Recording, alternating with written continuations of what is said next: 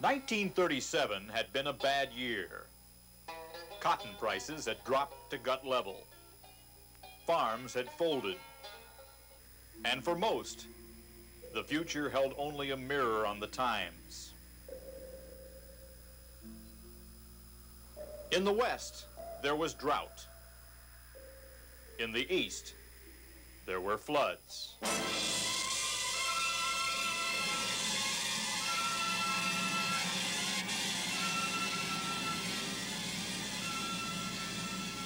A hundred thousand men fought the Mississippi that summer, but the waters backed into Arkansas and Tennessee, Illinois and Missouri.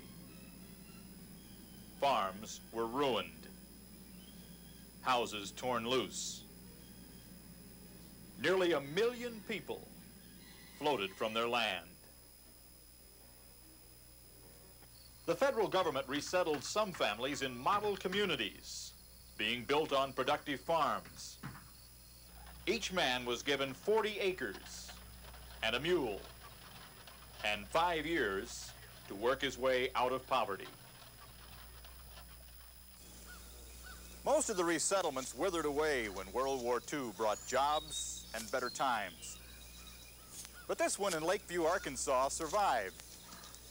More than half the families who moved here eventually bought their own land and stayed. You see, most of the folks who moved to Lakeview came from generations of sharecroppers who had never owned their own farms. For them, land was a way out of poverty. They would not give it up.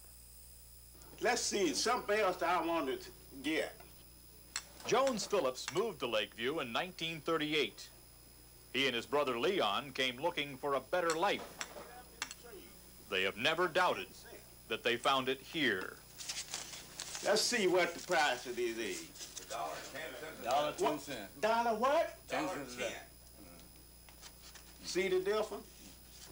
I used to have to get it on a credit, maybe take a month to pay for a bunch of growth. And today I can reach in my pocket and pay it now. Ten years after the Depression, Jones Phillips was out of debt. Can you pick tomatoes? Yet he and his wife Lou Gussie raised 10 children and 69 grandchildren. You know what? What? We're gonna have to pick some peas too. All of them finished high school.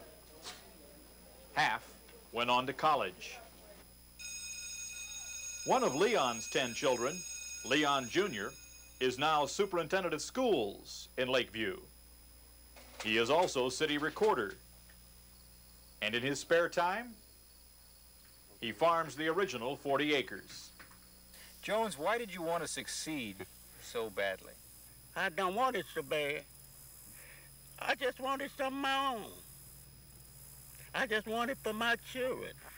I wanted to send them out in the world for themselves so they would b- do a better job. And we did. This is a day the Lord has made. Hallelujah! Why did Lakeview survive? Well, people will tell you it was born again, like its religion. A second chance city.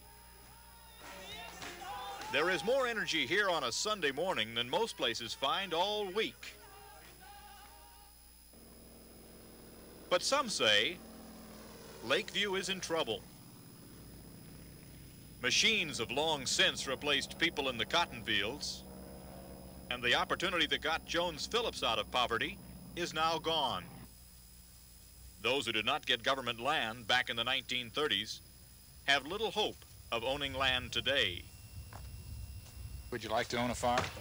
Oh, yeah, but ain't no use to me trying now. All I can do is pay for this house every weekend 32 years now. I don't know where I'll be in 32 years.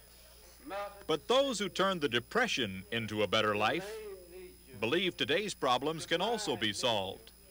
We all need you. We all stand in the need of you. There is still faith that the future can be corrected and that somehow Lakeview will survive. The people here know about the future. They have seen it in their past. For today, Bob Dotson, NBC News, in Lakeview, Arkansas.